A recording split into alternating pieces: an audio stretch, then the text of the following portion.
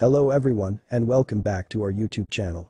Today, we're diving into the world of Microsoft Excel and exploring some nifty techniques. How to use the copy as picture function, paste as picture and paste as linked picture. These methods can significantly enhance your data presentation and make your Excel sheets more engaging. So, let's get started. First up, we have the copy as picture function. This is a great feature if you want to capture a specific range of cells and paste it into another application, like a presentation or a document, while retaining the formatting. To use this feature, select the range you want to copy. Navigate to the Home tab and click on the Copy dropdown. You'll find the Copy as Picture option there. When you select it, a dialog box will pop up, hit OK, and your selection is now copied as a picture. Feel free to paste this into any Excel document, presentation, or another application.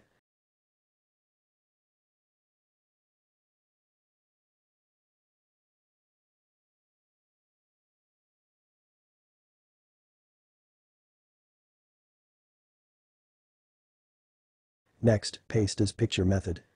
To do this, select the cells you want to capture, click on copy.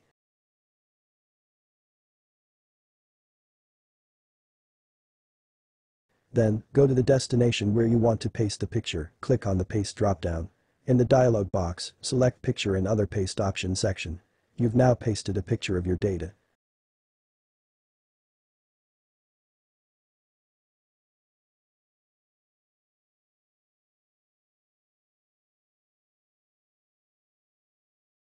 Lastly, we have the paste as link picture technique.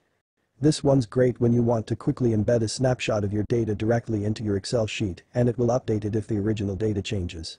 To achieve this, again, select the cells you want and click copy. Then, go to the destination where you want to paste a picture. Click on the paste dropdown. In the dialog box, select linked picture and other paste options section. This creates a link between your Excel data and the picture. If the data changes, the picture will reflect those changes automatically.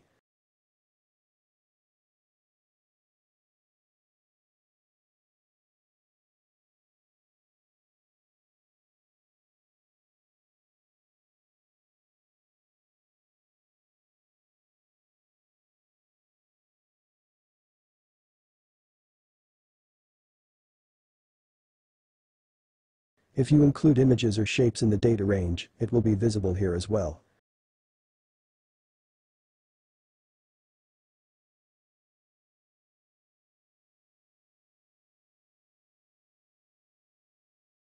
If you found this tutorial helpful, don't forget to give us a thumbs up, subscribe to our channel for more Excel tips and tricks, and hit that notification bell so you won't miss any future updates. Thanks for watching.